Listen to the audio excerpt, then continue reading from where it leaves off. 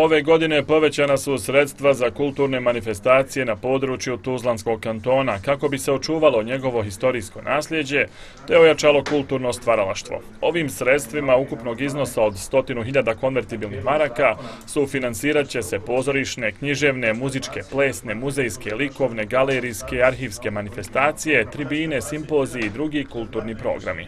Ukupan iznos sredstava koji će se deliti jeste 100.000 konvertibilnih maraka i to na sljedeći način. Tekući transferi drugim nivoima vlasti u iznosu od 8.000 konvertibilnih maraka, zatim tekući transferi neprofitnim organizacijama u iznosu od 82.000 konvertibilnih maraka i tekući transferi privatnim preduzećima i poduzetnicima u iznosu od 8.000 konvertibilnih maraka.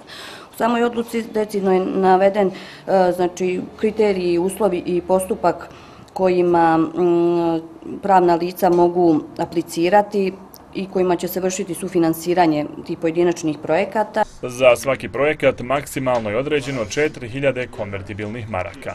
Nakon prijema i obrade podnijetih zahtjeva biće donijet kalendar manifestacija od interesa za Tuzlanski kanton, a nakon kalendara i odluka o odobravanju finansijskih sredstava korisnicima sa iznosima i namjenom finansijskih sredstava. Također će se sufinansirati troškovi električne energije u izbjegličkim naseljima. Određen je iznos od 25 konvertibilnih maraka sa uračunatim PDV-om koji će biti plađen po jednom domaćinstvu u toku cijele godine.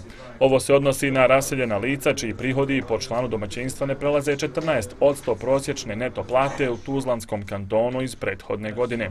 Pored toga, vlada Tuzlanskog kantona je prihvatila tekst kolektivnog ugovora za policijske službenike kantonalnog ministarstva unutrašnjih poslova, te je donijela odluku o izmjenama i dopunama pozitivne liste lijekova. Također, data je i saglasnost na pravilnik o izmjenama i dopunama pravilnika o plaćama, naknadama i drugim primanjima zaposlenika na Univerzitetu u Tuzli.